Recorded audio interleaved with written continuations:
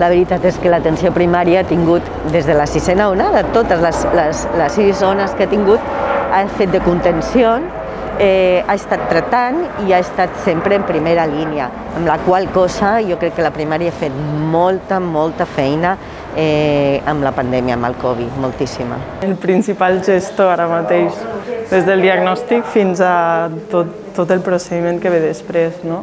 Els símptomes són més lleus, potser ja no hi ha tanta càrrega a l'hospital, sinó que està molt més aquí al cap i la gent pues, ve directament aquí, o ve o, o truca aquí. No?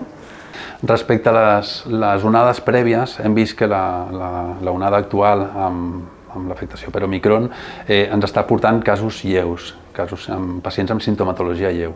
I això és bo, perquè és veritat que la necessitat assistencial que tenim d'aquests pacients és menor, se'ns compliquen menys, però és veritat que afecta ja una alta transmissibilitat, per tant afecta molta més població.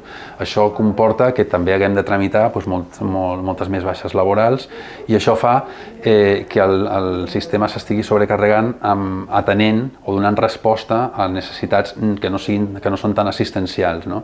I sí que estem veient una sobrecàrrega més burocràtica.